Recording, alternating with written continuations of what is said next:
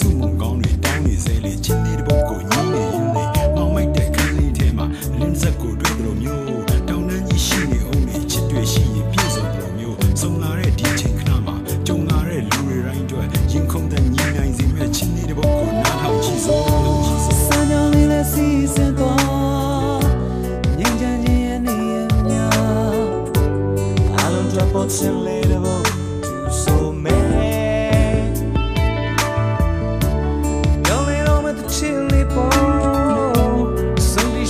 ချစ်တုံးနဲ့အလုံးတော့ပေါ်ချင်လေတော့